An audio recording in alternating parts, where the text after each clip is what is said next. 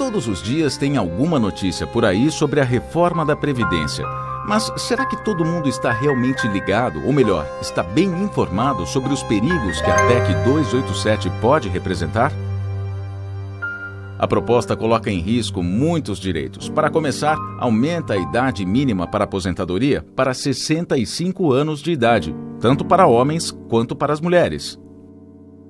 E as perdas não param por aí. O tempo mínimo de contribuição para a Previdência passa dos 15 para os 25 anos.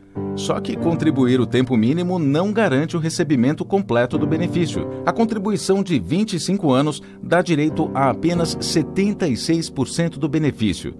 Para conseguir receber o valor integral, os trabalhadores deverão contribuir, no mínimo, 49 anos. E para se aposentar integralmente com 65 anos e receber 100% da aposentadoria, o trabalhador deverá pagar o INSS a partir dos 16 anos de idade. Isso mesmo, a partir dos 16 anos de idade.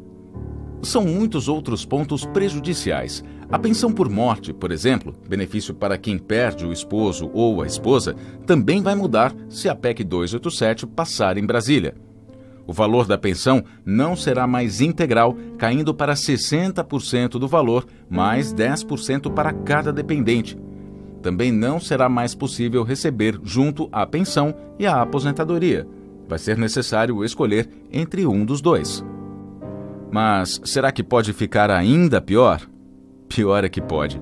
A proposta prevê que a idade mínima de 65 anos pode ser ampliada e pode ter mudanças na regra sem precisar nem votação no Congresso se houver aumento na expectativa de vida da população.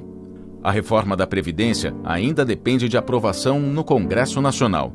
É possível virar este jogo, mas a mobilização de cada cidadã e cada cidadão neste momento é fundamental. Diga não à reforma da Previdência. Compartilhe este vídeo.